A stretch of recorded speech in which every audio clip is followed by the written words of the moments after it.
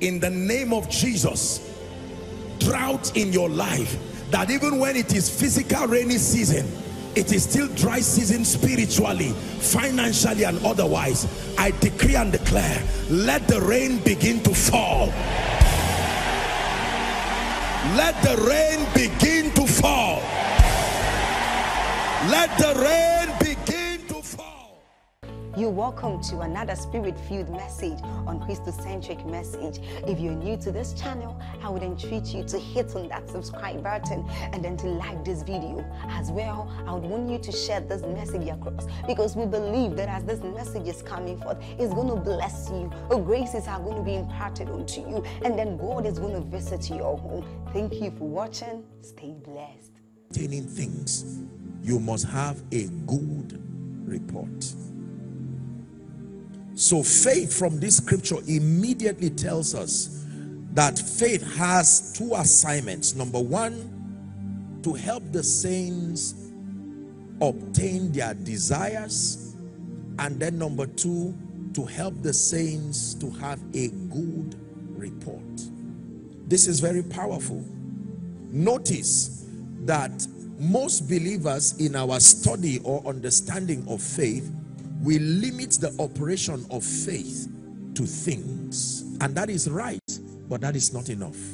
Are we together? So the average believer understands faith with respect to its ability to obtain things. And that is true because the Bible leaves a provision for believers to use faith. For instance, the Bible says, what things soever ye desire, it says, when ye pray that you believe that thou receivest them and thou shalt have them. So we know that there is a place for receiving things. But the Bible tells us that the whole process of faith should not just stop in obtaining things. Are we following now? It then means that every time we study faith, there are two things we should be looking for its ability to deliver things and its ability to bring the individuals to have a good report. And hebrews goes further to let us know that there are some times that faith does not deliver things but it must always deliver a good report. Hmm. so in the workings of faith a good report is greater than obtaining things because when you study the entire discourse of all those who were called the elders some of them did not obtain things. But the bible says all of them obtained a good report and yet it called them elders. Are we together now? This is very important. So everywhere we study faith we must seek to find desires actualized but then we must also seek to find where reports were established. Therein lies the disappointment of many believers because we have limited the understanding of faith to things. And once we fail to obtain things through faith we feel disappointed. And sometimes even we men of God we lack the ability to explain to people why they seem to have believed God but the end of their journey did not end up with getting things when you understand the way faith works you will know that getting things is a very is an inferior part of faith that a more superior approach to faith is obtaining a good report so by this understanding, we see immediately that faith is a platform, but faith is a journey. Hallelujah. Faith is a platform that helps the believer to obtain promises, to actualize desires. But that more than a platform, faith is also a journey. And that in that journey, the end of it is not receiving things. The end of it is having a testimony. There is something, the journey does not affect your hand. It affects you, your entire life. Listen, if you get what I'm teaching you, your Christian experience will be solid and you will do things that only God can do. Are we together? Let's now look at verse 3. You will understand what I said. Hebrews 1 or Hebrews 11 now verse 3 watch this through faith we understand that the worlds were framed by the word of God so that the things that are it says that it did not come from the things that do appear verse 4 now verse 4 it says by faith watch this now Abel offered unto God a more excellent sacrifice than Cain watch this by which he obtained witness. What did he obtain? He did not obtain things. That he was a righteous man. This was the end of his journey. For him, faith was not a platform to receive things. The, the first example. Are we together now? Hmm. The first example of faith in the Bible the Bible says he obtained witness that he was righteous.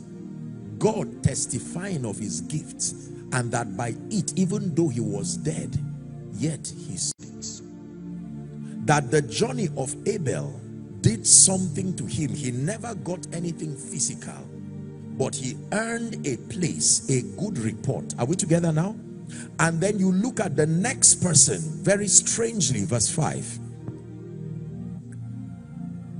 verse 5 now by faith the second example that the bible gives us is the man enoch enoch was translated so that he should not see death and was not because god had translated him and before his translation again what he had was not things he had a testimony this was his testimony that he pleased god Example number three. Are we following tonight? Verse 6, please.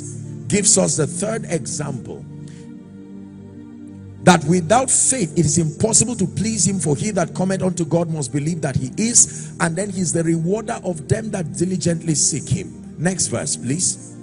I want us to see the third example. The third example is Noah. So are we following now? The first example is Abel, then Enoch, then Noah. It says, by faith, Noah being warned of, of God of things not seen as yet, moved with fear, he prepared an ark to the saving of his house, and by the which he condemned the world and became an heir of the righteousness which is by faith. Noah now. Verse 8. Now you see what happened with Noah. The Bible says Noah did not receive anything but he obtained a good report that he was a righteous man because when God warned him he moved with fear the first time from Hebrews 11 we see promises and we see receiving and we see inheritance. Started with the man Abraham. Are we together? By faith Abraham when he was called the Bible says he went called into a place which he should go after he received for an inheritance. We now see obedience. And then in fact the bible tells us it was not everything god promised abraham that he received on his soul in his life. Because the bible would tell us that this man did not obtain certain promises. So bible faith is not limited to receiving things. Are, are we following the journey now? That bible faith should not just stop in the realm of using it as a platform to receive things. That faith is also the name given to the journey that affects you more than your receiving hallelujah. Many people are not strong and audacious because they have limited the operation of faith to only become a platform that helps them receive things. So there is faith for reports and then to obtain promises. Let's look at hebrews 11 from verse 32 down to 35 this is very profound. I'm being simple because i want everybody to follow along. And what shall i say more? For time will fail me to tell of gideon and barak watch this now and Samson and Jephthah of David also and Samuel and of the prophets. We're reading to 35 33 now.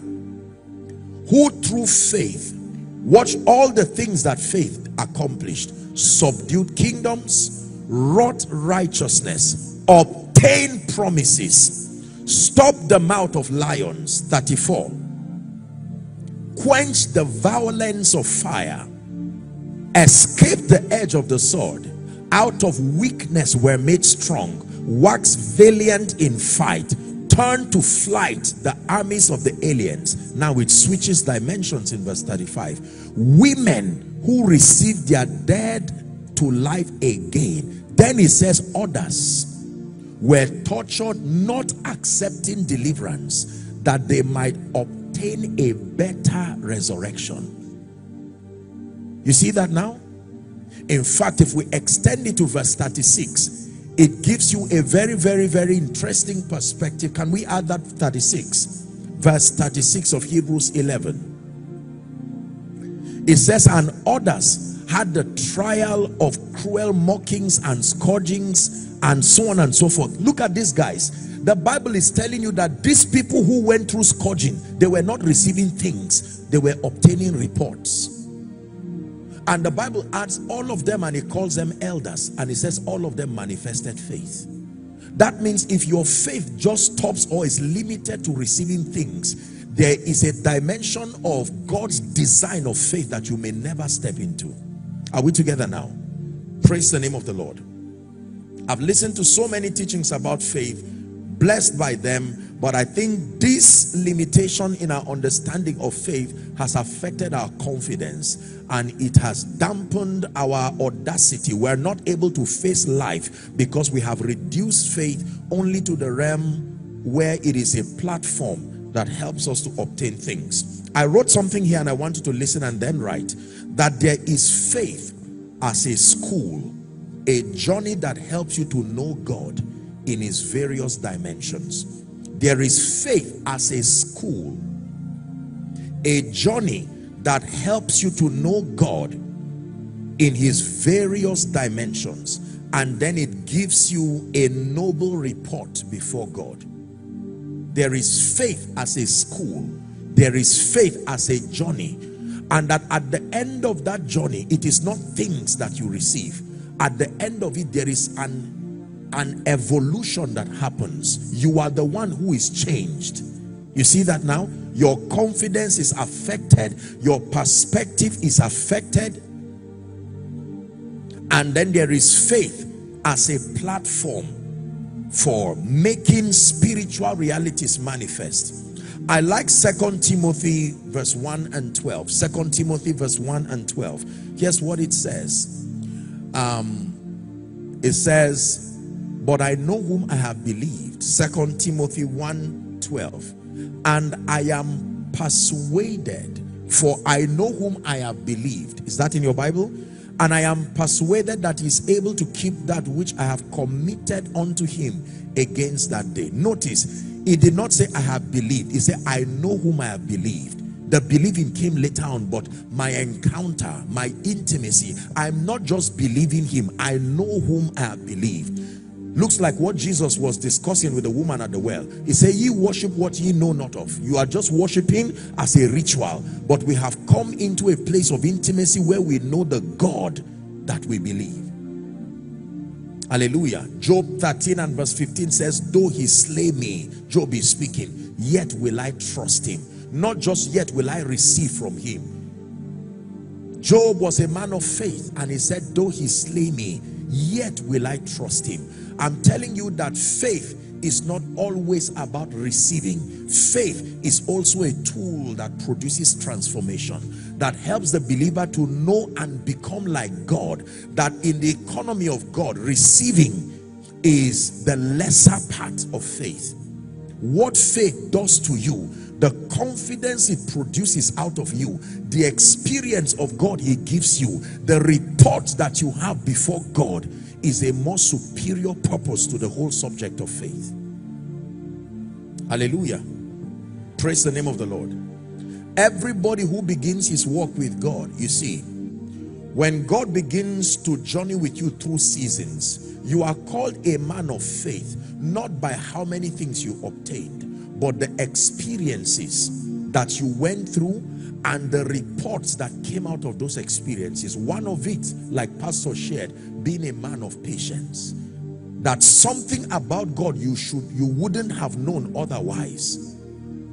I like how the psalmist puts it. Yea though I walk through the valley of the shadow of death it never said you took me out. I walk through the valley of the shadow of death it says I will fear no evil. Fear was not something he came into that experience with. Or courage he came in with fear, but something happened as he began to confront that situation. He learned God through that situation. And his conclusion and his report is that I have found out that this thing does not have as much power as it looked before I got into that situation. One of the ways God makes us courageous is to create a scenario where we stand before our fears for a long time, long enough to deflate that fear. And you will find out that it never really had the power it proposed to have. So the believer generally uses faith for avoidance. We use faith quickly to pray and say, Lord, you are God. I'm speaking your word. May I never get into this situation. This is what I want. I describe it by faith. And that is not right. That is not wrong. But I'm saying when God is dealing with you, what he seeks to produce out of you, a noble report will demand that faith for you does not just become a platform, but that it becomes a school a school where you learn God experientially, you learn God pragmatically. There is something about God that only your tears can reveal. There is something about God that only the gift of pain in your life can reveal. This is an uncomfortable truth, but this is how people become champions in the spirit. Are we together now? So you get to a point where your focus is on the knowledge of God and the reports that you obtain before him you care less about whether things appear or not I will take time to teach about things. Faith was a platform to receive things. But I'm saying your Christian experience will be a plethora of disappointments. In fact, because of the many disappointments as a result of the absence of things, you will not pay attention to the transformation that is happening and the knowledge of God that you are now having in experience. Are we together? So for instance, I'm trusting God for a job and I've been told that if I believe the word and I speak the word, the cattle on a thousand hill belongs to the Lord. Is that true? God is called the father of spirits. He can manipulate every human spirit to work his purposes in my life. I agree. So in the place of prayer, your focus is things. In this case, the job. Your whole attention that means the end point of your faith as programmed by your understanding is that when a job arrives, God has shown himself as faithful. He has answered me. Are we together? But you do not know that the job is a lesser part of God's concern. There is something he wants to make out of your life. Are we together now? And while your attention is on the job, and now you trusted God and released your faith, sowed a seed, spoke the word, submitted your CV, and in trust that after two months you will get the job. Now it's two years, the job has not come, and the devil manipulates your understanding to leave you disappointed. If they say those who have faith stand up, you will most likely not stand up because your parameter for measuring faith is the presence of things. You will not know that in within those two years, God has worked patience within you. God has worked contentment within you. God has granted you the strength and the capacity to be able to look at good doors and still don't open them until you verify that God is the one that brought the door. These are things that you cannot get just in a sermon. There is a journey and God is saying that in his economy, that journey is also called faith. Hallelujah. So most believers measure faith based on the presence of things. So if you say those who have faith, usually the man with all due respect who has a car, who has flashy clothes, a good house, things that attest to the fact that the word of God has worked. While some member somewhere who may not have anything but a rich testimony that I have learned how to trust God in spite of my father's departure, my mother's departure. I had 20 naira by January and I'm still standing by December. That person may not know that that is a nobler report before God. Are we together? Yeah. So the one who has only had five members even after two years, the man when he stands with someone who may have um, a lot more members generally our assessment will be that this one is doing better than this and his faith is working more than this. But God has taught this man. He has purified his desire. The pressure of pleasing men is no longer there. It was pruned out by teaching only five people for two years. His pride was tongue till he died. Are we learning? Who you become is more important to God than what you receive I will say it again. In the dealing of men with God, who you become, that's why God uses every opportunity to partner with your expectation for your transformation. In God's mind, obtaining things is a lesser concern because he knows that if that transformation happens to you things the thing you even are looking for sometimes it can be because of your former version. By the time you are transformed you will find out that what you were really praying for was unnecessary because your growth will now make it unnecessary. You will soon find out that it was jealousy that created that prayer point not a necessity for your destiny you were just angry and envious and God will say rather than just giving you that he will keep fueling your continuation in the flesh. So he will use the opportunity including the disappointment to grow you to a point where you will now from that purified self that purified version you will find out that you did not really have many prayer requests. That long list was what flesh gave you so rather than answering it, he transforms you and your transformation keeps knocking out those prayer requests. You find out they were not requests in the first place. Do you understand what I've taught so far? Hmm. So that in God's dealings with men, as far as faith is concerned, his concern is not your hand receiving things.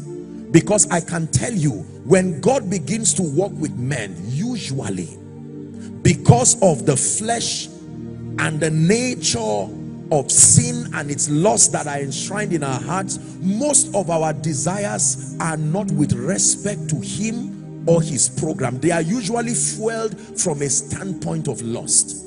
And that does not mean we are bad. It just means that we are still frail in ourselves. So when god begins to walk with a man his interest is not giving things. His interest is changing that man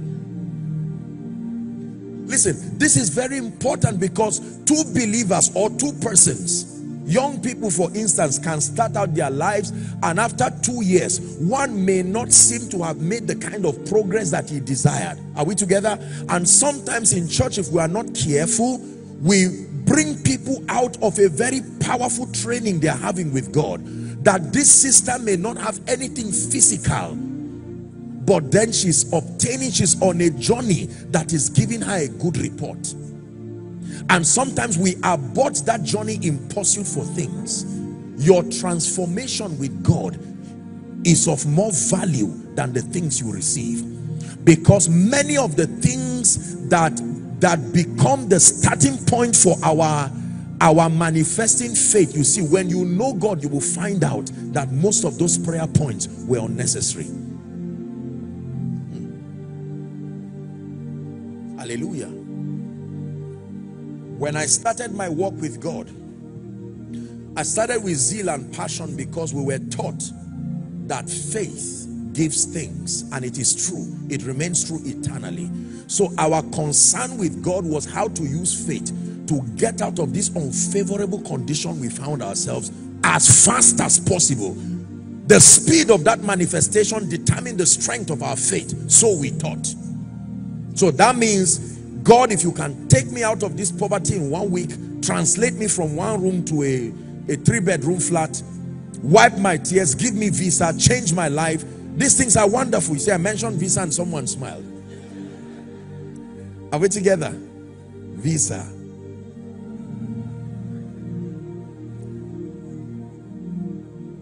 So usually when we study the subject of faith, this is what I want. What must I do to make it happen? That is the scope of our study. You see, it doesn't matter what motivated the desire. We just believe that faith is a magical instrument used to fulfill every desire. It doesn't matter how it came. So I want to go abroad. Whether it's the will of God or not, that is none of my business. I was told that faith can help me get a visa. It can force someone at the other side of the counter to stamp my visa. So I now begin to study. Okay, I find speaking as part of the equation, so I speak. I find giving as part of the equation, so I give. I find coming to church as part of the equation, so I come. I find prophetic blessings. I engage everything. And now my expectation is to the roof. I stand before the consular and I'm denied the visa and I cannot understand. So what was I singing on Sunday? You are God alone from before time began. You are on your throne. You are in the visa office now. You are God alone. And right now, and as if that is the end of it as soon as you get home you prophesied you dropped a seed and you expected one million to appear for your rent. I was young and now i am old. I've not seen the righteous forsaken nor his seed beg for bread. And in the presence of your landlord your account is still empty. And then you say god what is the name of what we are doing I have practiced everything I read in Kenneth Hagin's book. I listened to my pastor diligently. I emptied my account just last week. What are you doing to me, oh God? Then as if that is not enough, your colleague just passes with a beautiful BMW or a Benz and say, ah, how are you? It's so good to see you after five years. What have you been up to now? Say, I'm trying to go out of this country. Says, well, I know you've always been a serious Christian right on campus. In fact, me, I just got born again two years ago. And thank God for your zeal. I'm sure God will do it. And he haunts you and leaves.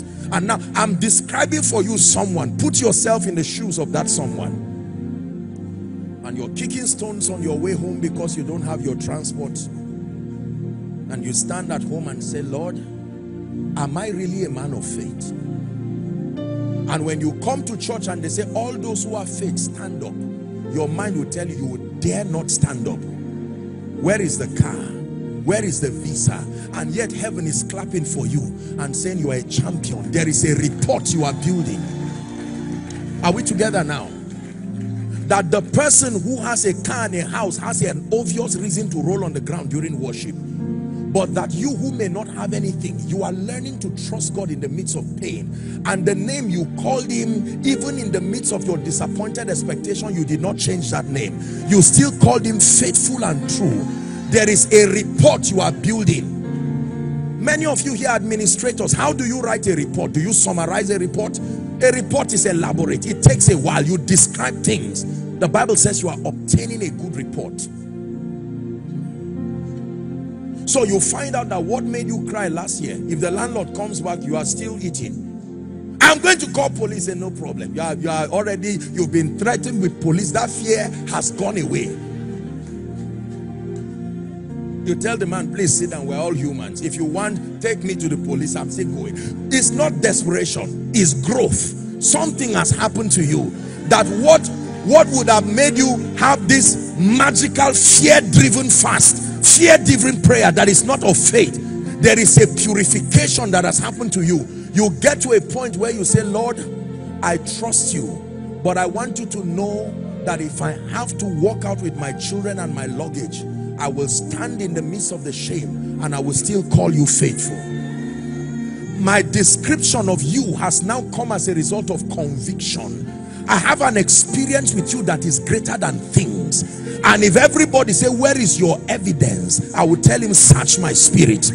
Beyond my bank account, my evidence for knowing and trusting and walking with God. Listen, when your faith stops at the realm of things it will affect your christian life.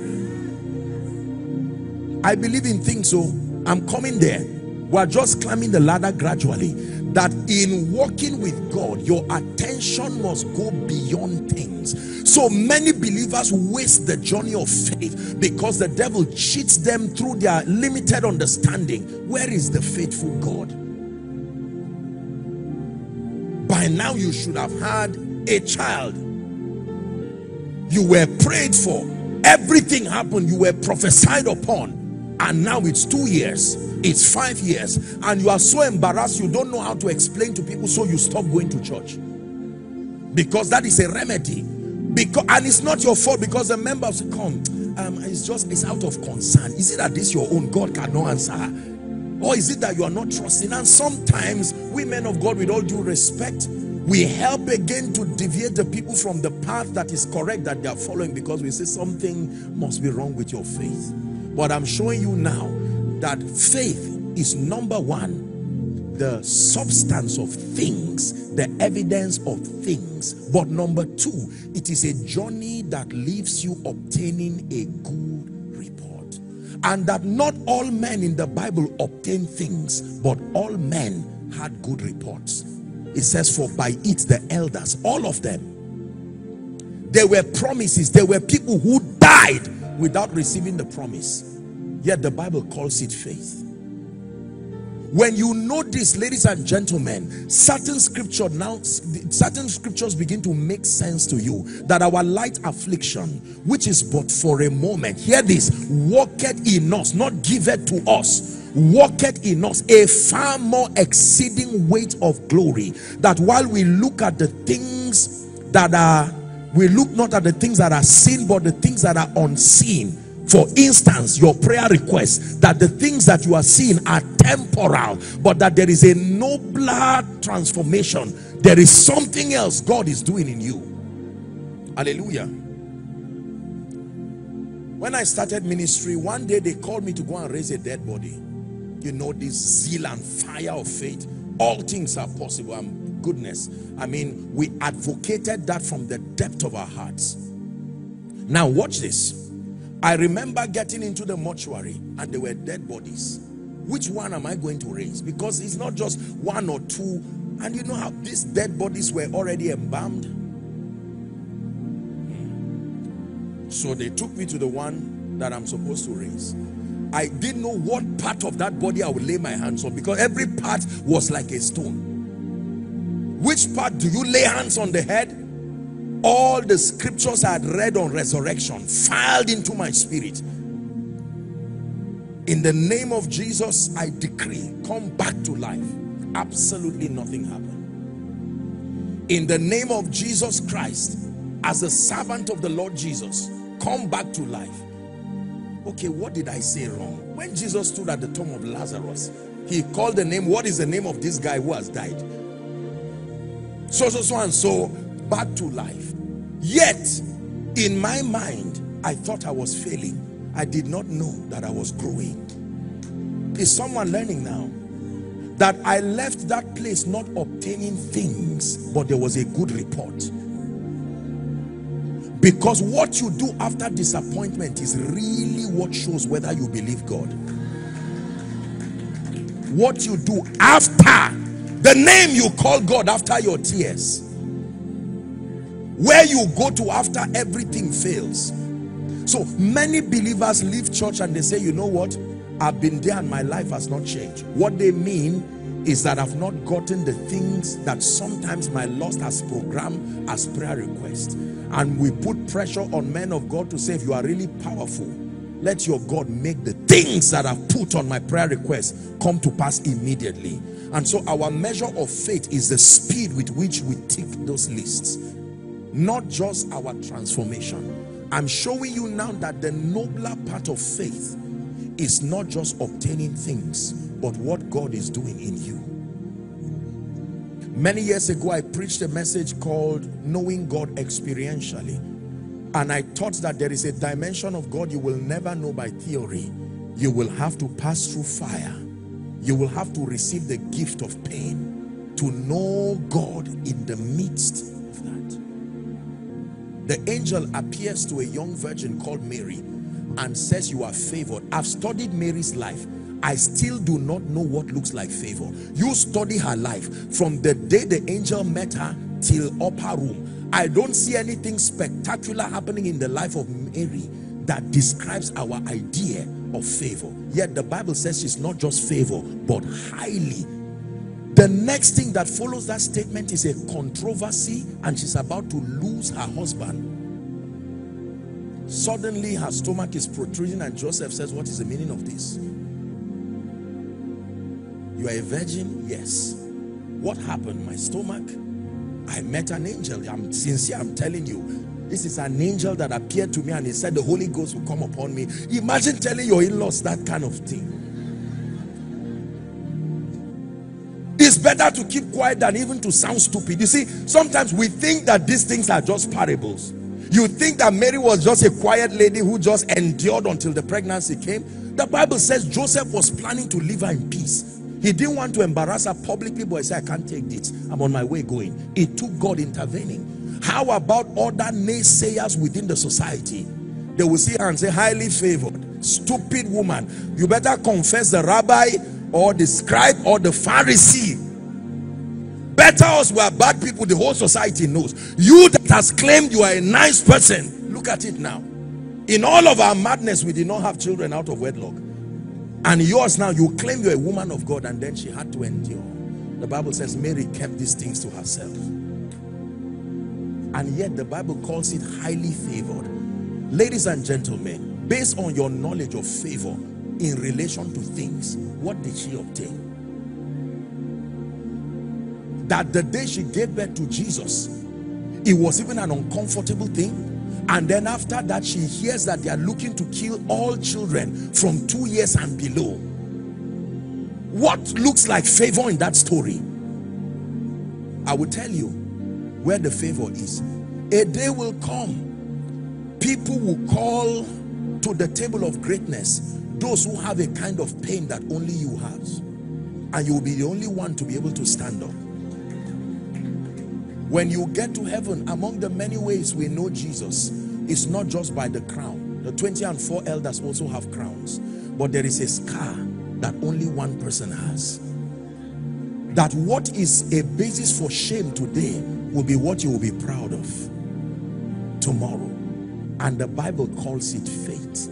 Now faith is the substance of things, the evidence of things. We usually stop there. So our mind is programmed towards things. Cars, houses, nothing wrong. Breakthrough, increase. And then the Bible says more than things.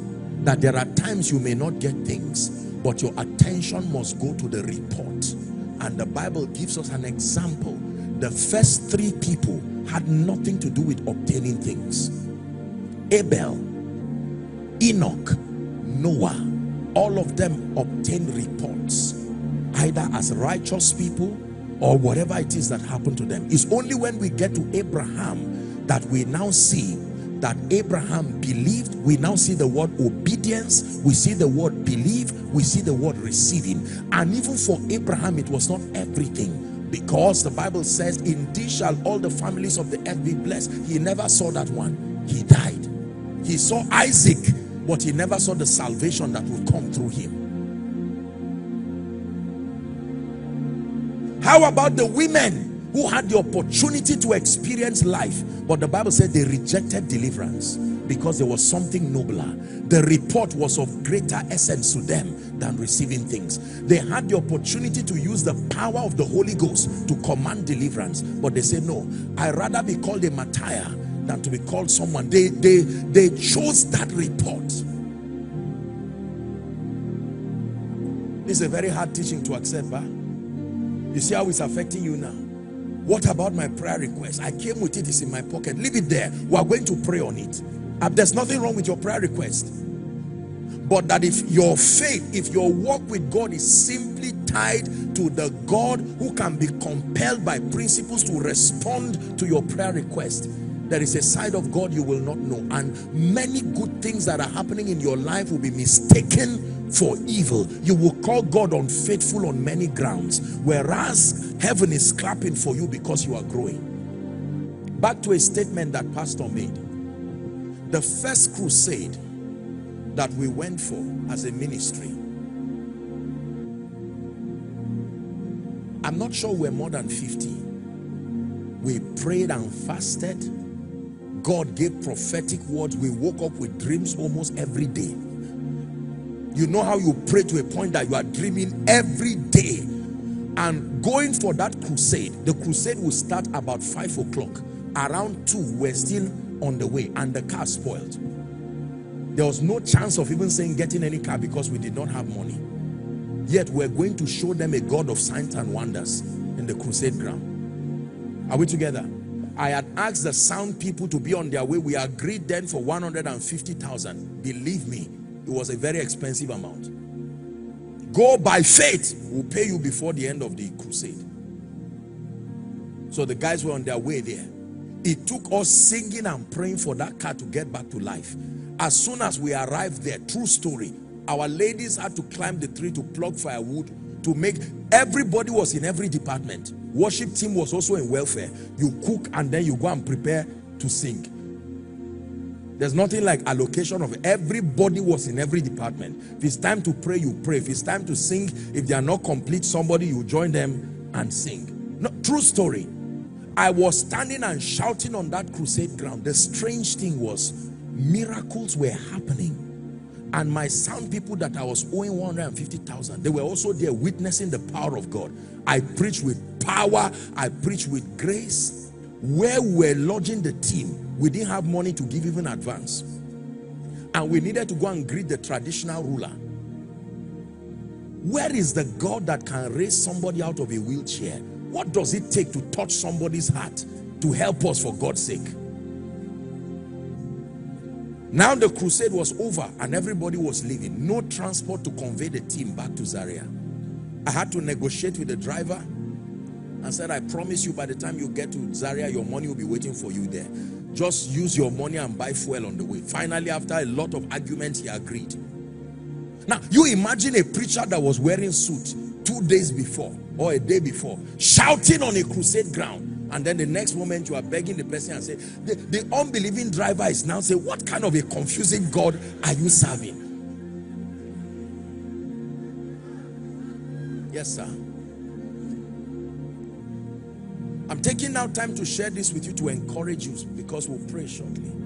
And when they left, I remember I needed recharge card then. Phone just came out. I remember I was looking, I said, God, you have to do a miracle. Where I'm going to get the recharge card to put in my phone. I can't even remember what happened. But I finally got recharge card. I pleaded. I said, how do I do this? Because I needed, I had to dismiss the whole team and stayed back. So that they don't say a man of God came, you preach and ran away. The hotel bills were there. We could not pay. 150, the sound, the sound people were angry. They said, what is this? You mean even 10,000 you cannot look for it to give us? I had to call somebody who was my teacher before and beg him. Now I'm not as a man of God to beg the person to say, please, can I find 20,000? I can't remember how much I asked him for. Say faith. Say it again.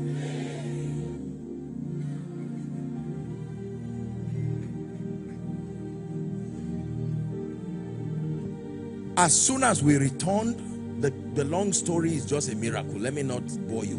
But you can imagine how I came out of that situation.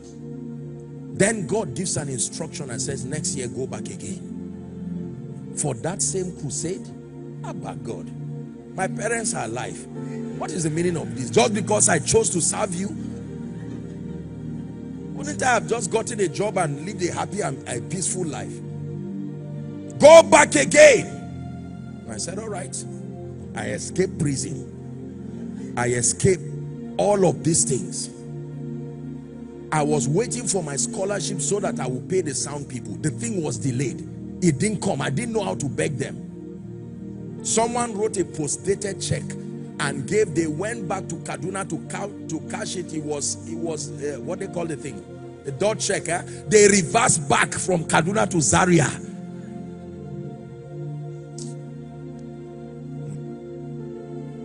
No shadow you won't light up, mountain you won't climb up, coming after me. This is not a special number for me. Oh.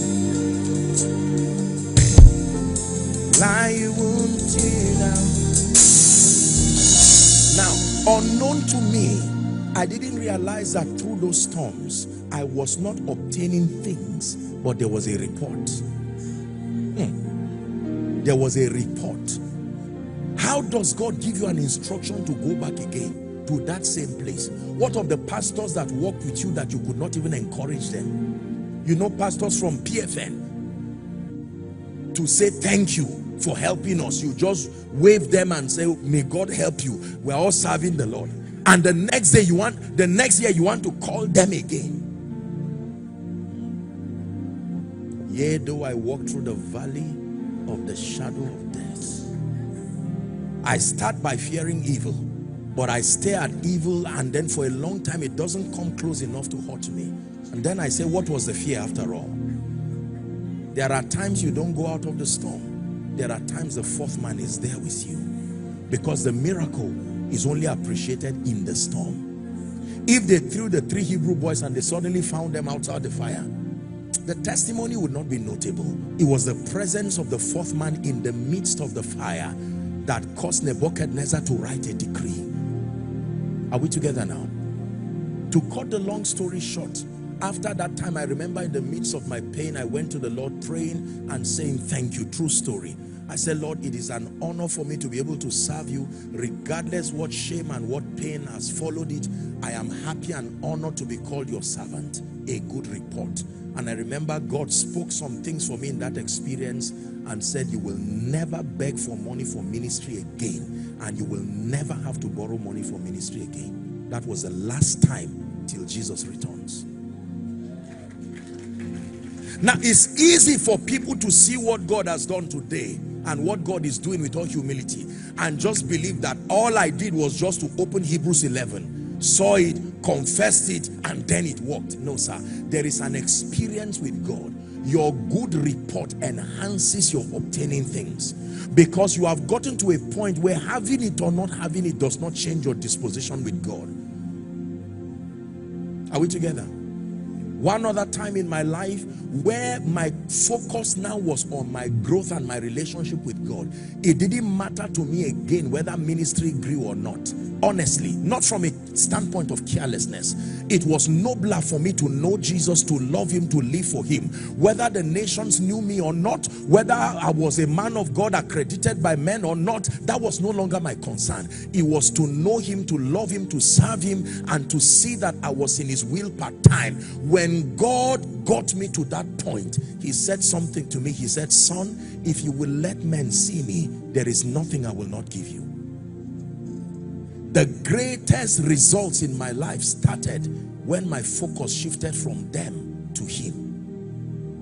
The greatest miracles in my life started when my focus shifted on the pressure of proving that I was anointed to being concerned about Jesus if the man on the wheelchair is not healed I'm sorry I did my best you can go home come back again. But if at the end of it I can love Jesus when he sees that you have allowed faith as a journey as a school to build you the end of your faith pursuit should not be it it should be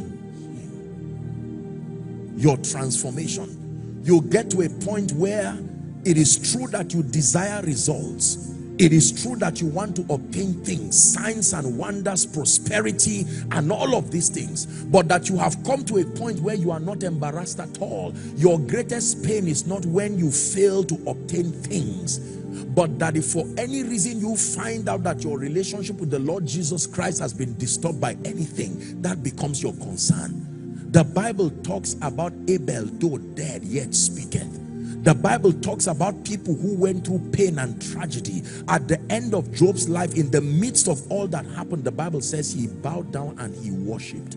How do you worship when you are getting a report that your children just died, your estate got destroyed, some wind came to destroy your farm properties and that Job cast himself upon the earth and worshipped.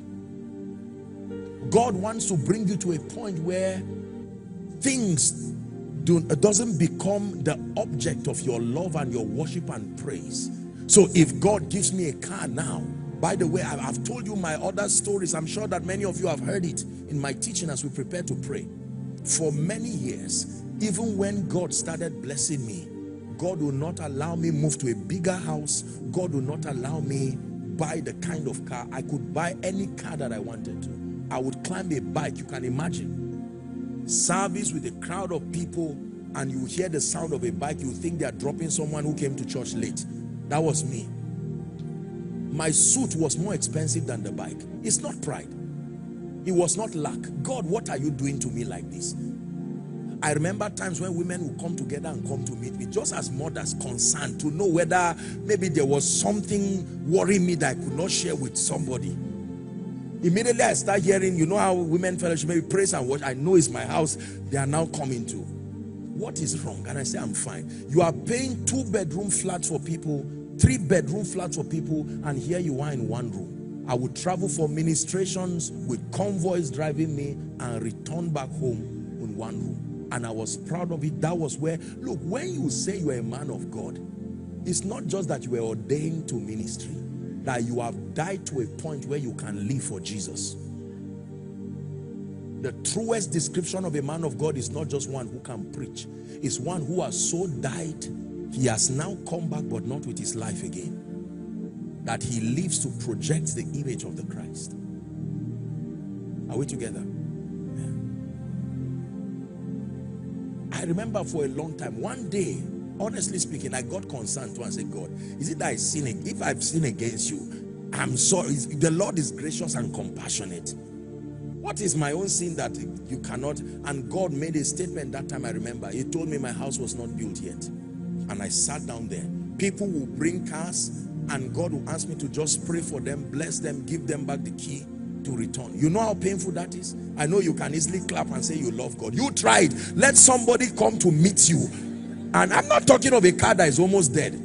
Serious car that will give God glory if you drive it. And then you pray over it and give the person to go back. And there you are seated. Sleep will not come. The appetite to eat will not come. And you say, what is the name of what we are doing?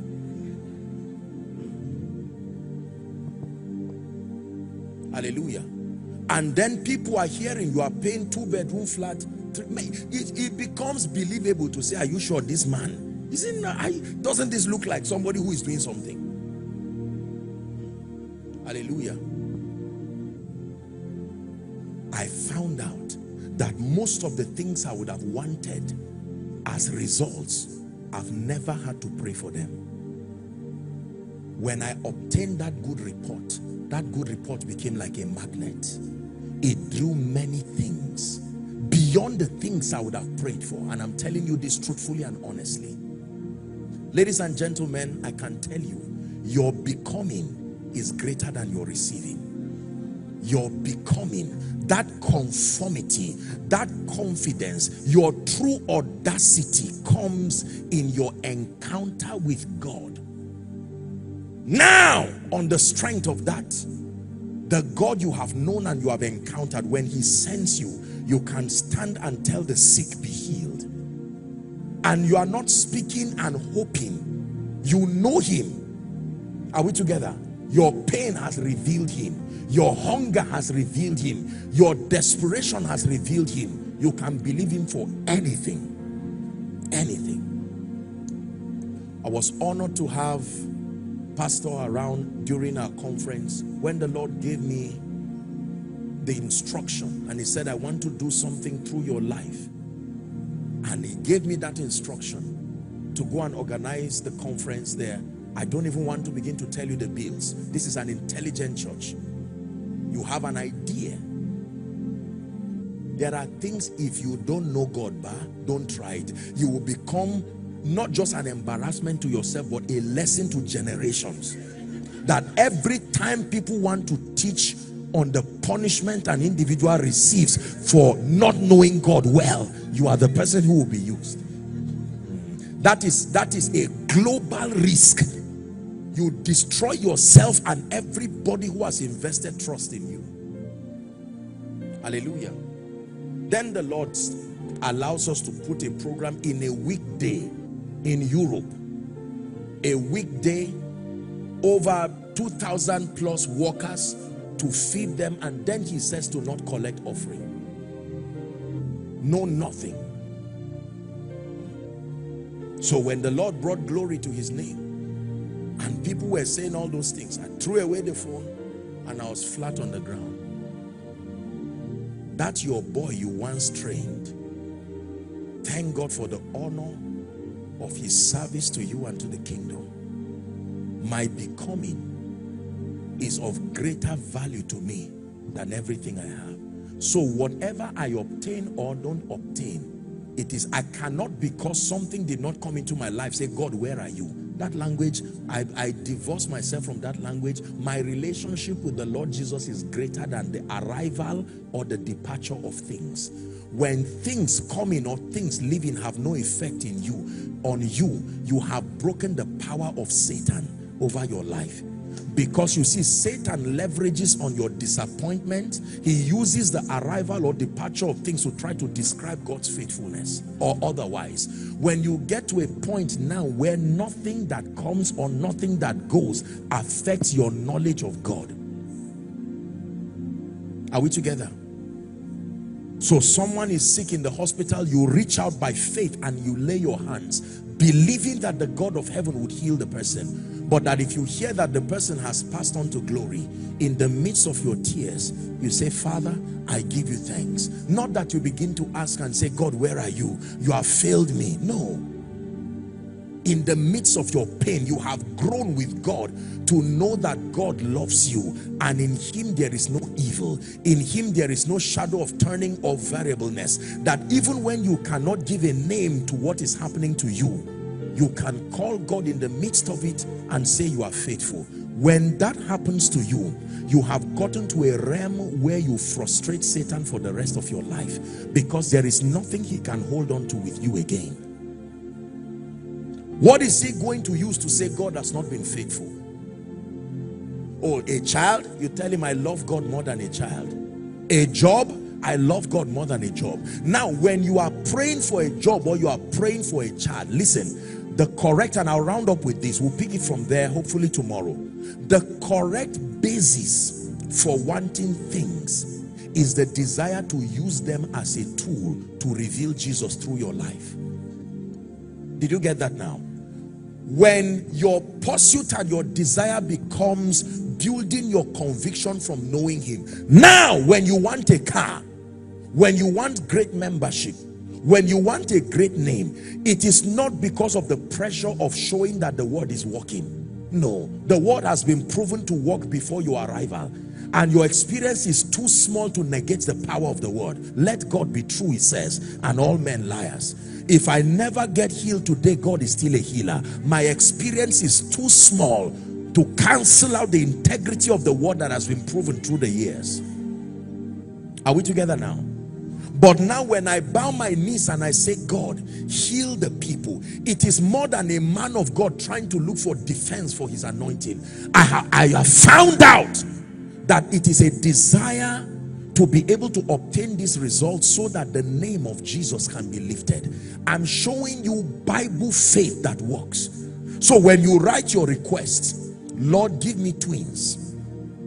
Lord, give me a house in Maitama.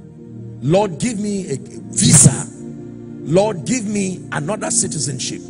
Do you know the reason why you are confident that God will answer it? Because number one, you have so died that answering it or not answering it does not affect your relationship with Jesus. But then number two, you are saying, Lord, here is an opportunity that in answering this request, you are giving me an opportunity to allow your name to be lifted and exalted. You have come to a point in the spirit that the Bible calls faith. Every desire in your life is not isolated from the revelation of Jesus. Now you can pray with confidence. You can ask for the twins. You can say, Father, make me a kingdom billionaire. And this is not just lost speaking. And the only way to test whether it is lost speaking or not is that your disappointment does not affect your relationship. So many people who say, I am a man of faith in the body of Christ. The truth is that when you vet it from the lens of this, do you have the unashamedness to forego things to obtain a good report? And when you want to now obtain things, is your desire and motive just to use them to show whether or not God is faithful. God is faithful from the time your pocket is empty until it is filled with all the money in your life. I, is somebody getting that now? So when I pray for people, whether to be healed or speaking over their life, I help them understand that the answer to it is the, the testimonies that they receive is beyond just an attestation that this is a man of God. I bring them to a point where their requests and their desires are connected to kingdom come connected to the revelation of Jesus. Now I can pray with confidence. Lord lift this woman. Lord give this woman twins. Lord make this person a millionaire. And I will not pray it without eh, with any apology. I pray when I'm teaching about finance I teach it as if that's the only thing to be taught. When I'm teaching about other aspects of the kingdom life because now I have brought the people to a point where their desires are now in in unison with God's will. Here's what the Bible says. This is the confidence we have that when we ask anything according to his will we know that he hears us. Faith was never supposed to be an isolated platform to just receive things regardless whether it is connected to God's will or not. You see that now so the, the missing ingredient that we need to correct is number one, that faith is beyond receiving things. The nobler reason for faith is obtaining reports that your journey of faith the school of faith should help you. At the end of your faith journey if all you show me is a car and a house i will not be very impressed. At the end of your journey if i stand before you in the midst of the car in the midst of the result in the midst of the designers i should see you go on your knees and call a god that you have come to know through your pain. A god whose name when you call is not just because a worshiper gave you that name to call your pain and your experience has brought conviction to you. And upon the strength of that conviction when he commands you you say yes sir. You will do audacious things. And people will look at you. You do not add up. And they will say from whence is this confidence? The confidence is beyond just confessing scripture believe me. You have had an experience with God and shame died in that experience. Ego died in that experience. Lust died in that experience. Your passion is to see Jesus revealed. So if God says move you are moving because you already died in the first place. So whether an embarrassment happens happens or not, your ego is not tied to it. Now you can believe God in truth.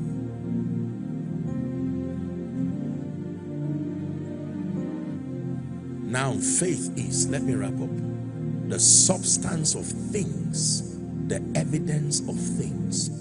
There was no guarantee in scripture that all the people called elders obtain things. But this one thing the Bible said about them, it says, for by it, verse 2, Go back with this scripture tonight. For by it, faith, not just as a platform to obtain things, as a journey and as a school. Verse 2. Please, media, give us verse 2. So we'll wrap up with verse 2. For by it, it says, the elders, the elders obtained. So whether the house comes or not, good report. Being called a patient person before God being called a righteous man before God, being called a true Christian, being called one who loves Jesus regardless the vicissitudes of life is a nobler report before God. You see, when you have that, it will no longer be a do or die affair. The only do or die affair in your life will be your love and your pursuit for Jesus. When this is brought and reintroduced back to the body of Christ, I assure you, we will see miracles in a way we have not seen before. We will see prosperity. This thing we call prosperity, the truth is that many people have not truly handled kingdom wealth.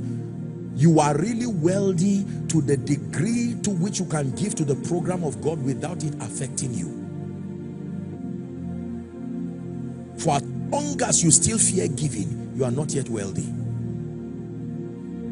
You see, yes, that you have experienced a level of overflow by the Spirit of God, that no amount of giving to the kingdom becomes a source of pain and makes you to lose sleep. First, because you love God, but number two, He has opened your eyes to see what others do not see. Hmm. We're going to pray for by it. Ladies and gentlemen, we started our journey with God, not obtaining things but obtaining a good report. And that good report before God and before men has brought things, things beyond our prayer request. It has given me the confidence to believe God today. The bit that we are doing for the kingdom and the privilege of serving him in whatever capacity he's chosen to bring us to and that he's taking us to. My, my highest desire is not to have things. My highest desire is that I love him. The proof of faith for me is not the arrival of things expected. It's wonderful and we'll deal with that tomorrow. But the greatest proof of faith is if you find me knowing God and trusting him more today than I did yesterday, then I'm a man of faith. If I trust God at the same level today that I started this year with, my faith has not grown. It does not matter what else came. So heaven treats the subject of faith by your growth and the confidence that is imparted to you based on the knowledge of God. And pastor shared something beautiful. Don't waste your pain. Don't waste your experiences. Don't allow the devil lie to you that your faith is not working. In the midst of the tears, rejoice because he's giving you an opportunity. You are in the school of the spirit, obtaining a good report. I prayed for this person and he died. Focus on the report beyond the promise. I trusted by now, October, I should have gotten the job. Focus on the patience that has been built. Focus on the purifying of your heart that has happened. It is still called faith. I trusted that the ministry would have moved, say, to her permanent site. I trusted that God would have multiplied membership. More money would have come. More members would have given. But it seems to not have happened. Focus on the report. You have become a more spiritual you the you that does not cry anyhow again. You used to waste your tears, but now you know the value of your tears. You only cry in his presence, not before the devil. That growth happened because faith built you. Is this a good place to pray? This is how God trained us. So the subject of shame and ego died in the journey. What do people say? Ah, that one, that, that burden I was delivered from it years ago. You do things because you fear the Lord, because of a sense of conscience and posterity. Is someone learning? So that way you can trust God for grace. If God says empty your account and bring it and drop it at the feet of the man of God, you will not be casting his voice because of lust. I cast that voice, it can't be God. God cannot be telling me this by October. You see, God doesn't work like that. He is love. You have so died that all you have belongs to him. As a man of God, after 10 years, pastoring five members, you would teach them with that zeal and not vent your anger upon them because of the absence of growth. You are teaching them with passion and they are wondering where you are getting this passion from. And you say, I learned it from Jesus. Whether he was speaking to one woman at the well or he was speaking to the Pharisee he was speaking on a crusade ground. His passion never changed. To him he was doing ministry. His reputation was a, was a list of his concern. The will of God was his primary purpose. So John 3:16 came out of a discussion with one man. The whole template of worship that has guided the church was not a discussion on a crusade ground. It was Jesus discussing with one woman many of the powerful scriptures in the Bible did not come from him talking with a crowd. He was talking with individuals. Faith. Bible faith. I hope this is a good way to start a conference that you have so desired and labored and opened up your heart so that every other addition that comes to this conference falls upon a heart that already understands God's intent that any conference, every prophetic word you'll be receiving, every principle you'll be learning, whether in business, I be, I, have I've seen, you know, the, the, the plethora of seasoned visionary men of God who will be standing upon this altar all through the week. Have this at the back of your mind, that the assignment of a man of God is not to endorse the loss that is already there. So the Spirit of God is beginning with us and bringing that circumcision in our hearts from tonight to help us understand that faith is not just as a tool to manipulate God using scripture so that our will and our desire be met by all means. That is not faith.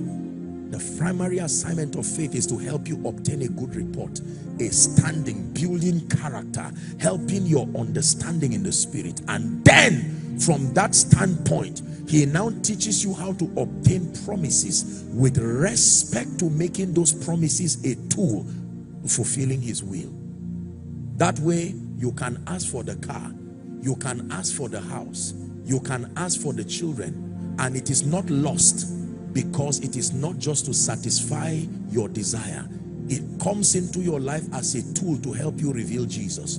When you say, Lord, give me one billion, he looks at you and he's not constrained to give you because he knows that everything that comes into your heart and your hand is falling upon a life that is ever committed to seeing him revealed. At that point you will see signs and wonders indeed. You will see dimensions of grace. You will see levels of power. You will see favor influence prosperity beyond your imagination. Men will look at you and not they will try to search how is this result happening and you will tell them this result is a product of an understanding that faith is not limited to obtaining things but it is that you have a good report your confidence is not from what God does or not. Your confidence is from who you become, whether God does it or doesn't do it. Please rise upon your feet.